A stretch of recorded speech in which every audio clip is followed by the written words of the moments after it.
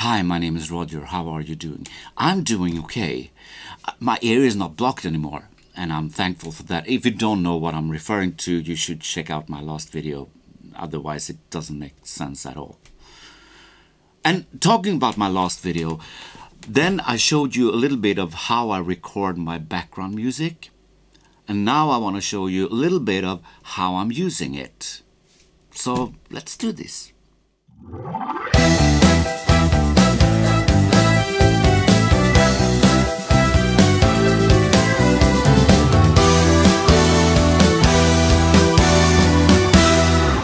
Before we go any further, please hit that subscribe button. And also check out my last video where I did the recording of my background music. The link is down below, of course. So I did several versions, but all have the same chord progression and all are in the same tempo, so I can combine them in my video editing software later. I will show you how in the end, but first, let's listen to what I recorded. So these are the tracks I recorded. We have the live groove, which I showed you in my last video. Sounds like this.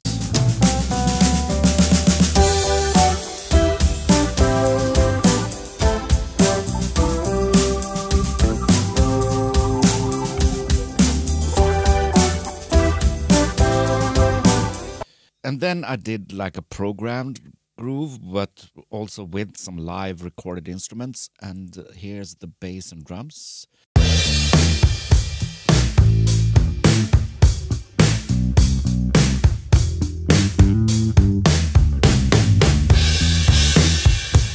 Then we have the groove one, which is sort of an interpretation of the live groove with the Rhodes and Hammond and things like that.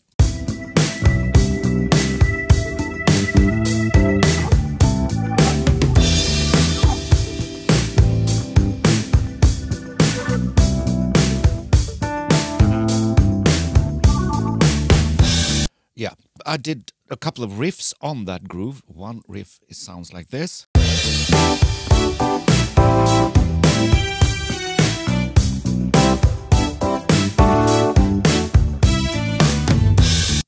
And the other riff.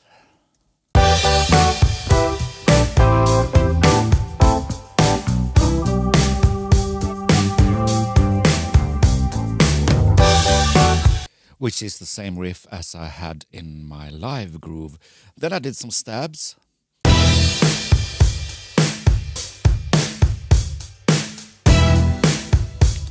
And they get busier at the end. That. Here we have just a pad.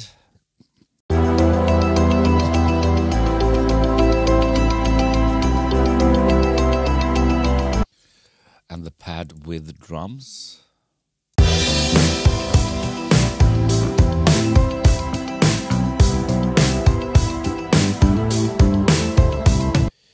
And the vocals I recorded, the vocal ooh.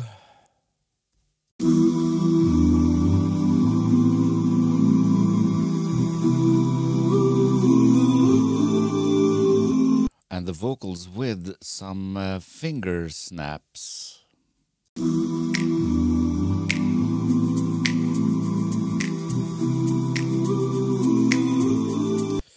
And the vocals with the drums.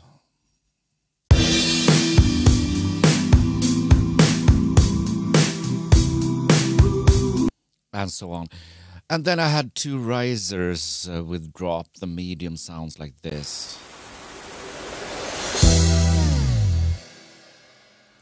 And the longer sounds like this.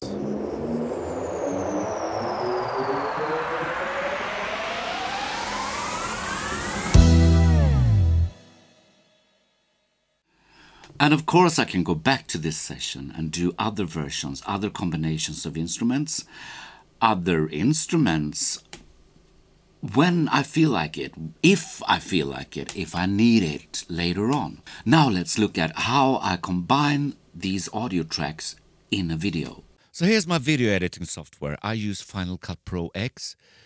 The green stuff you can see is uh, the audio channels. I have the vocal oo, the E minor 104 BPM groove 1, and so on and so forth. And I also tried to make them connect with each other. So if we listen here, for example,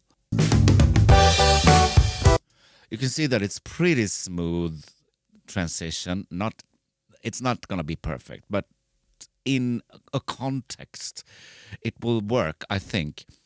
And here we have a groove going into the vocal ooze with the drop in the transition. It sounds like this.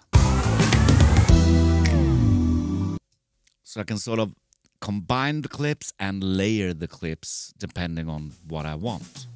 And I will show you the result at the end of this video. And the background music you hear right now is the live groove I recorded. So that's the way I do it. I hope you found that interesting. Maybe you learned something. And thank you for watching. Now I want to learn from you, so comment down below how would you do it? Would you do something differently from what I've done? Please tell me.